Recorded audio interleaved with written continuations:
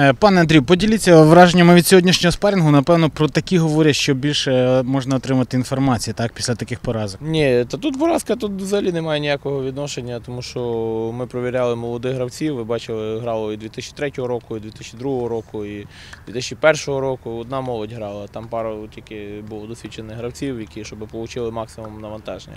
Ми завтра в основному готуємося на гру з Динамо Мінськом. Це була запланована гра. Ця гра була у нас не запланована, але ми захотіли провірити нашу молодь. На такому спарингу, як з шерифом, це ну, напевно краще не придумаєш. Тому деякими гравцями дуже задоволений, якщо чесно, навіть попри те, що ми програли 0-3. Але деякими гравцями, звичайно, розочарований. Розочарований, ну але ми рухаємося вперед, ми рухаємося, працюємо. Саме основне це є сезон, де ми повинні, скажімо так, вигравати. А на сьогоднішній день ми провіряємо всіх гравців, віддаємо всім максимальне навантаження через ігри.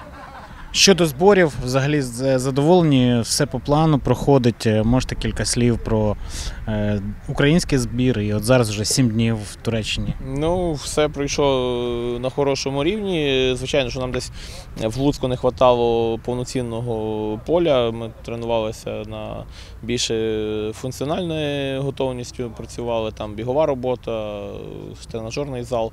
То приїхавши сюди, ми маємо зелене поле, в принципі, хороші умови в готелі. Ну, ніяких питань нема.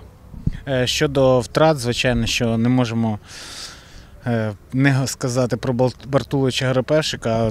Була можливість е, з цих футболістів утримати? Я можу сказати тільки таке, якщо людина не хоче, її не заставиш. Знаєте, тут я рахую, що ми взяли повноцінну заміну тими гравцями, яких взяли. І Стас Куліш, і Прендета Віталік, і той ж Кізела теж, і Конкольняк.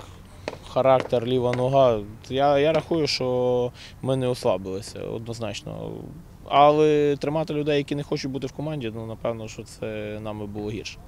Ну, Наскільки складно було запросити цих чотирьох виконавців? Можливо, з Колькольняком було легше, тому що е, футболіст команди, яка з серединці, а от три цих футболісти.